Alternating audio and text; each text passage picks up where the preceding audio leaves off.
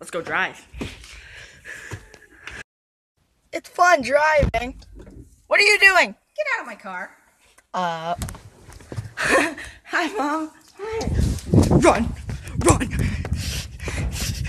run, run, run.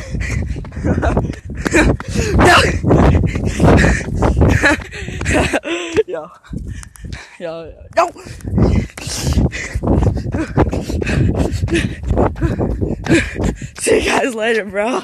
Peace. comedy bit in a while. So um, here it is. If you guys ever have an argument with a flat chest girl, here's all you have to say: the itty bitty titty committee.